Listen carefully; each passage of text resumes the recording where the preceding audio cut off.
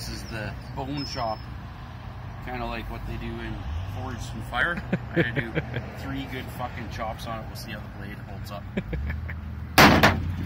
Whoa. Oh, if I hit that one more time, she'll split.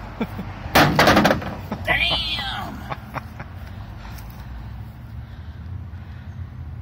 I can fucking hell. Man, there's not a. It hasn't rolled.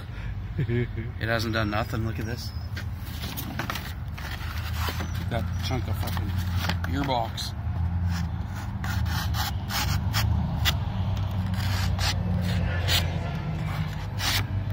Oh, that's a good knife.